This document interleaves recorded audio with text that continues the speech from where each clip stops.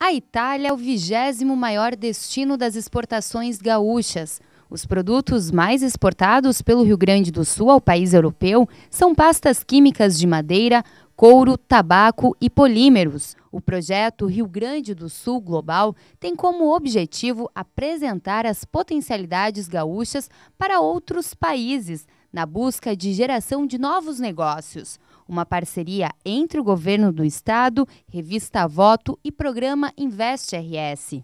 Na tarde desta segunda-feira, durante uma reunião de trabalho com representantes de empresas italianas que estão instaladas aqui no Rio Grande do Sul, o governador José Ivo Sartori destacou que o momento é de buscar novos investimentos e reafirmar o potencial gaúcho. Nós temos também aqui, pelas mudanças estruturais, um novo ambiente de integração, um novo ambiente econômico, mesmo com as dificuldades brasileiras de retração da nossa economia, mas não apenas na indústria, mas também no comércio, nos serviços. Vencer isso, fazer modificações, alterações e mudar a estrutura do Estado do Rio Grande do Sul, para nós sempre foi um caminho positivo, uma pauta positiva.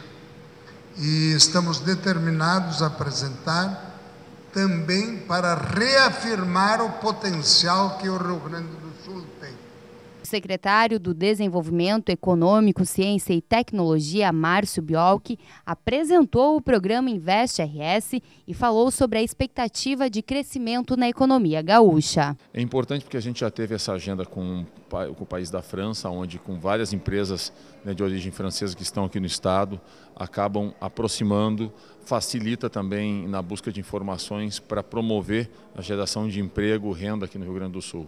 Agora com a Itália, né, que tem já uma identidade cultural muito grande aqui com o Rio Grande do Sul, vários dos setores em que nós somos pioneiros no país têm participação de empresas italianas ou então de descendentes. E é uma relação ganha-ganha, porque nós vamos auxiliar para termos aquilo que não teríamos. Então, o Rio Grande do Sul, na verdade, não está abrindo mão do que tem, pelo contrário, ele acaba buscando parte daquilo que ele não teria, e isso é importante para todos, porque não existe setor público sustentável sem um setor privado pujante.